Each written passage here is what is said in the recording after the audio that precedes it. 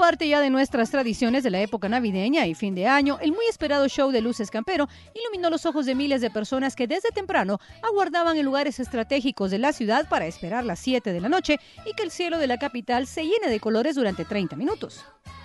En un ambiente familiar y de armonía, los guatemaltecos disfrutaron de música en vivo, comida y shows de baile que acompañaron la velada durante la vigésimo tercera edición del espectáculo pirotécnico. Terrazas, edificios, miradores e inclusive techos de vehículos fueron los lugares preferidos por muchos espectadores que no se perdieron el evento.